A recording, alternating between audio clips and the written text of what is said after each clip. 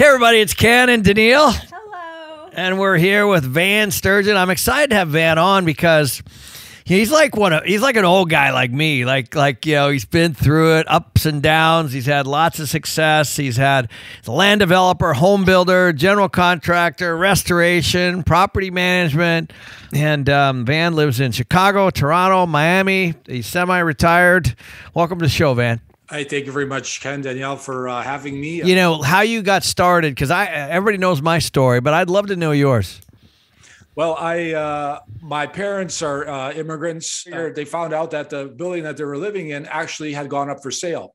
So instead of actually going and buying their dream home, they became landlords. They borrowed from friends and family to put down the down payment, and they bought uh, this apartment building. We had to buckle down. We had to do everything ourselves we couldn't afford to use electricians and plumbers and painters, all that kind of stuff. We were able to manage through. Things turned around, and uh, in the process, it was a great investment that my that my parents made. And then eventually, I went off to university, graduated, could have became a lawyer. Uh, I came back home, and I just didn't want. I couldn't see myself doing that. I want to become a general contractor. I like this renovation stuff, buying, flipping, uh, creating a portfolio, and that's how I got into other things like uh, property management. Yeah, the other thing that uh, I remember when Danielle was first looking at this one house, like we we went over to it and it had like horrible pictures. I was like, she's like, oh, I'm gonna pass on that. Remember? Yeah, yeah. I always wanted the you know tidy and already done up place, but that's a lot more. Expensive. And I'm like, no, no, no. This is the one. This is the one we want. You know, because like you,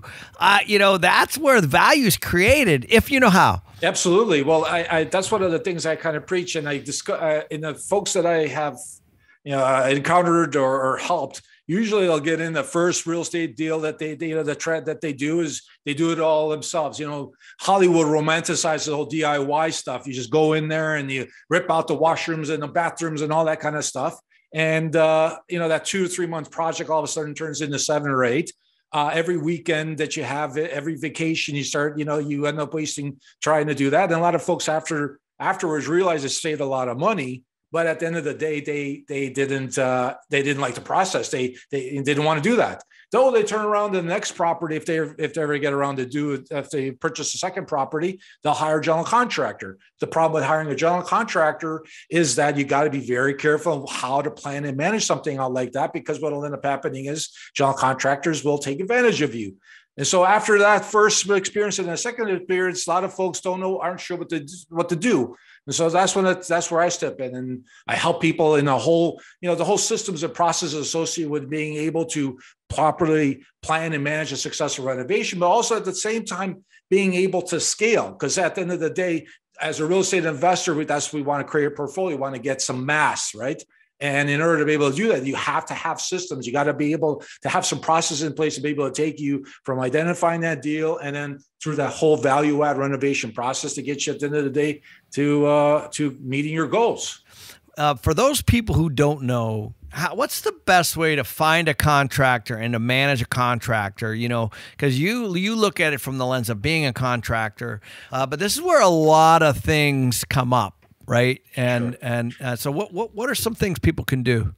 Uh, one of the biggest things that I have people come to me complaining about, whether it's on a single family home site or a multi-family, is we can't find contractors, or the contractors we find are all so busy. I, am a big advocate of uh, of being a professional real estate investor, creating a detailed scope of work, and then contacting contractors. And by virtue of a detailed scope of work, presenting it, and if it's done properly, uh, you know, good general contractors, good contractors will look at that document and will will be interested in quoting it because all the information is there. Good contractors hate having to babysit.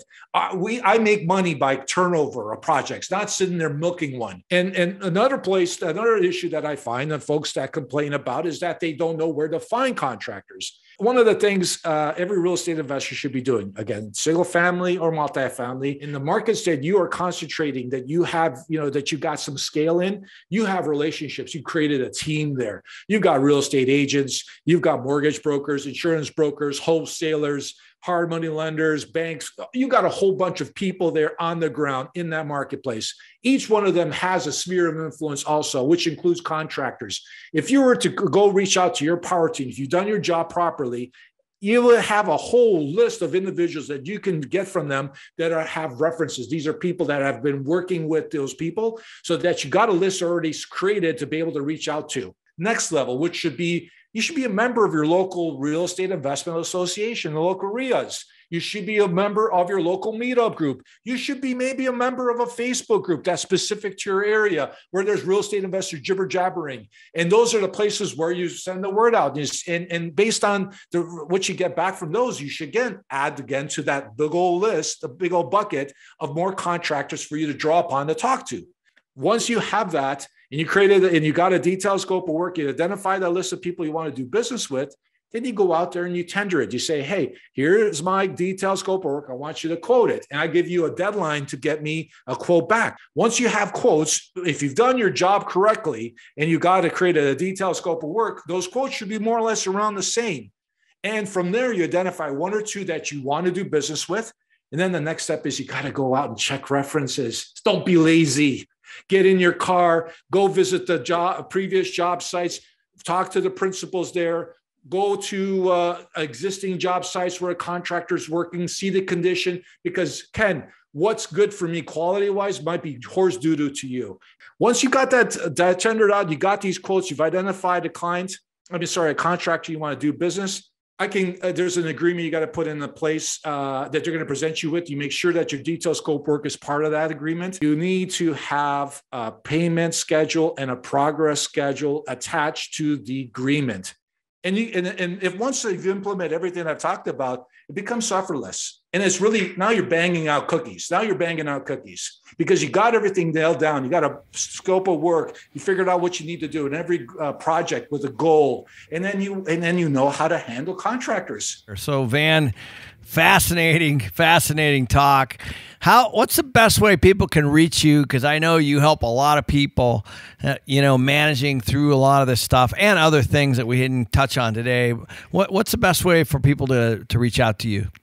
Well, I've got a website you you uh, mentioned. That's vansturgeon.com. Uh, I've got a wealth of information there from books and and and, and uh, free giveaways that people can uh, download and and uh, read.